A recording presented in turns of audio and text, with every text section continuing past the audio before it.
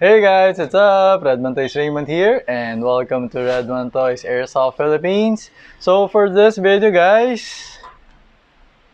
pakita ko sa inyo tong ano, Airsoft electric gun or Airsoft electric rifle, okay? This rifle is the made by East Crane or ENC. Yan, this is a full metal Airsoft electric rifle. Yan. So, same size siya and same itsura and same design as the real firearm. Okay? So, same siya, but this is a toy gun, guys. Ha? This is an airsoft lang. Ayan. Hindi kita yung rifle. No? Ay, hindi kita yung inner barrel niya. Okay? So, ang model na to, this is, uh, tawag dito is, sa tunay, this is M4 RIS. No? So, M4 RIS siya kasi nga, ito, this is a RIS. So, Rail Interface System. So, pwede ka magkabit-kabit ng mga flashlight and uh, whatever okay, you want. Okay? So, ganyan yung itsura niya. Meron siyang ganyan. So, ito retractable buttstock. Okay? So, ngayon, kapag ka kay ENC naman, ang model niya is 308. Okay? Yan. So, yan. Pakita ko. So, doon sa mga natatanong, naghahanap kung ano magandang rifle or na battery, ito okay ito kasi si ENC matagal na siya gumagawa ng mga airsoft electric rifle, no? Pero pagdating sa pistol, parang last year lang ata siya gumawa eh. Ito kasi siguro sa rifle, parang siguro baka may 10 years na eh. Hindi ako sure, no? Ano matagal na. At saka yung difference kasi ng piston saka sa rifle, sa sa rifle kasi yung mga parts niya, yung mga parts na malakas yung shock, malakas yung impact, malalaki. Like yung ano niya, yung pinaka gearbox niya makapal. Dun, dun dumadaan yung piston, di ba? So, kaya matibay, matatag. Okay, matatag yung mga ganito. Maraming maraming merong ganito, matagal na nila ginagamit and they can attest na matibay yung mga ENC. Okay siya, okay siya. For a budget, kasi ito, basic na rifle lang to eh. Basic siya. Ibig sabihin ng basic is Uh, wala siyang special features katulad ng mga sa Poseidon, 'di ba? Yung programmable trigger. Tapos ito, yung trigger niya matigas. Okay? Parang hindi naman siya matigas, pero hindi siya yung katulad ng mga GNG na electronic yung trigger na napakalambot. Yung parang ganun. No? Kaya parang Poseidon, malambot din, di ba? So, ganun siya. Okay? So, medyo parang standard yung trigger niya. Yan. So, ganun lang naman siya. Okay? So, it's a simple uh, electric uh, rifle. Okay? So ito, uh, testingin natin. Mapakita ko sa inyo FPS. This is actually order ni Sir Manny ng Olongapo City. Sir Manny, ito na ang inyong order. Okay, ayan. So, andito na yung battery, uh, free battery. No? So, guys, pag nag-order kayo na to, I'm going to give you a free battery. So, yun. Hindi nyo na kailangan bumili ng battery. So, basically, magagamit nyo na siya. Pero, guys, free lang yung battery, ah uh, ano siya, uh, ordinary lang pala yung battery. Yan siya. Free yung battery. Ordinary lang. It's actually parang 9.6 siya to or 8.4. Hindi ko kabisado eh. Pero nakasulat naman siya dun sa battery. Hindi ko lang memorize, no? So, if ever naman gusto niyo bumili ng mga aftermarket battery like this one, this is actually light poly battery or lithium polymer battery. So, mas malakas yung power na to. Kaya, tendency, uh, mas mabilis yung ikot ng motor. Yung motor kasi nandito eh. Mas mabilis yung ikot. So yung yung rate of fire mo, yung RPM, mas mabilis. Tsaka mas responsive siya pag bumabaril ka. Kumbaga parang ito parang shink, shink, shink, parang ganun.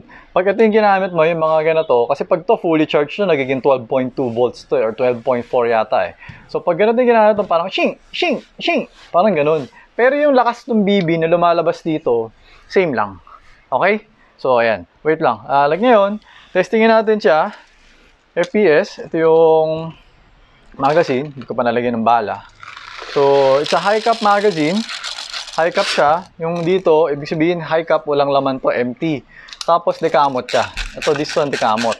Meron kasi din namang mga high cap, katulad ng kay Lonex, ano siya, dihila. Parang ganun. So, kung parang konting hila lang, kaya nang ubusin yung isang buong magazine. Okay? So, ito, trigger finger out, parati, okay? So, pasok natin yan. Make sure that the muzzle is pointed in a safe direction, ha? Ngayon, pag sa mga electric, kailangan maingat ka. Make sure that it's always on safe. Kasi ito, wala namang kasakasa to, hindi na kinakasa to. Talagang kinakalabit na rin to pag, baga, anytime, actually, pwede mo na siya kalabitin. Okay? Anytime, pwede siyang kalabatin. Tapos, hindi siya, hindi siya tututol sa'yo. Hindi kanya sasabihin, uh, hindi pwede. Pag kinalabit mo siya, okay, good na yan. Okay? So, ito, ah lagyan na natin siya sa safe. Ah, safe. Sa semi. Okay? Testing natin, putok natin.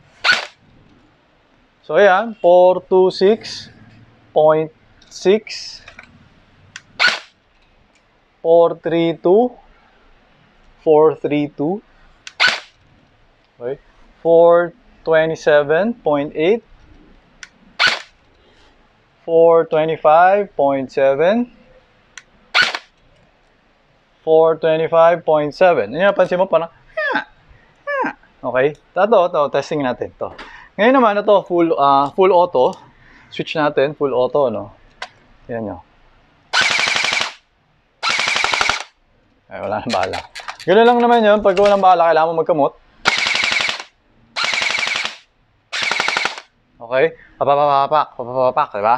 Okay, lagay ko lang siya sa semi. Tapos, palatan ko yung battery. Pakita ko sa inyo kung ano yung parang... May nakagawa na yata ako ng video eh, no? Ah, oo. Ay, meron na ba? Hindi ko kasi matandaan eh kung napakita ko na sa inyo. Pero hindi, ito, ito, ito, ito, dito na eh. Okay, ito, tingnan nyo. Hindi, hindi magkasya yung ano, hindi magkasya yung battery ko. Itong bat, ah, ito, ito, ito, ito, kasya. So, yan. So, yan, bit natin. Yan. Okay, kasi mga batteries, iba-iba din yung size eh. Okay, so ito, um, semi, pansin nyo, parang mas mabilis. Kaso ngayon, wala nga na lumalabas. kasi wala nang bala. Wala na yata. Yun. Okay, tapos kapag full auto, Di ba? Pansin mo. Yung isa, parang papapapapak. Ito, mas mabilis. Yun lang naman, yun lang naman yung mga, tanggalin ko na, yun lang naman yung mga pwede mong gawin sa kanya. Aside from that, ito kasi yung ito, hand, ano ba to?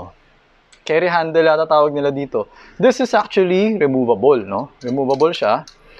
Pag tinanggal mo siya, pwede ka magkabit ng mga ganito. Red dot. Okay, mga yung optics ang tawag dyan, no? Oops, balance, balance. Yan. Red dot, o kaya yung mga ganitong klaseng red dot. Yan. So, ang purpose nito, para hindi ka na nag-a-align. Kasi ito, di ba, meron siyang sight dito, yan sa likod. Tapos meron siya yung iron sight sa harap. So, ina-align mo yan para makikita mo kung bullseye or something, di ba? Pag nagsi-zero ka, ganyan. So, kapag gumamit ka ng mga ganito, mas mabilis. Kasi ito, isa-set mo lang, teka lang, naka-on na ba to? Ayan, nakakita mo yung red dot. So, pag ziniro mo siya, yung target, ilalagay mo lang dun sa may, sa may dot. So, automatic na yan. Pagka dinapat mo ng ganun, pag yung, yung dot na yan, yung green na yan, nadudun sa target, pag na-zero mo siya, yun na, boom na. Bullseye na kagad. Yun yung, ano, yun yung advantage. So, yun lang naman yung mga accessories na binibili nyo, no? So, pag bumili kayo ng mga ganitong unit, uh, one of the main or one of the recommended accessories are yung mga ganito optic sights, no? Ayan, red dot. So, pili na lang kayo kung ano. Kasi iba kasi, ako kasi ito ginagamit ko. Actually, parehas ko ito ginagamit eh. Okay? Pero ito, ang difference nila is, ang one of the main difference is that ito, syempre, this is light, slightly lighter than this. Tapos ito kasi, multi-reticle. So, kung makikita nyo, ibig sabihin ng multi-reticle, ayan, nakita nyo yung reticle niya, di ba? Ayan. Tapos papalatan natin yung crosshair niya. Ibayin natin. Ayan, diba nakita mo, naging cross na lang. Tapos palatan natin ulit. Naging parang ano lang, bilog lang. Tapos, ito yung red dot. Ito yung dot, yung pag-dot. So, ito, makikita mo, this is green. Diba? Green siya, no? Meron din siya isang color. Two color kasi yan. Red. Ito yung red. Guess nyo? So, parang red and green yung color niya. Red and green. Tapos, multi-reticle. So, medyo, ito medyo mas maraming feature. Yun nga lang, pag titingnan mo yung itsura niya, para mas maporma nga lang to tingnan kapag nakakabit siya sa unit. Ito parang, di ba, parang hindi siya maporme. yun, yun lang. Pero kumbaga, pagdating sa effectivity naman, effective naman siya. Okay? So, yun siya. Yun. So, aside from the reticles, no, aside from the reticles, the, the red dot and the battery, siguro yung magazine. No? Pwede kayo bumili ng magazine na hindi kinakamot.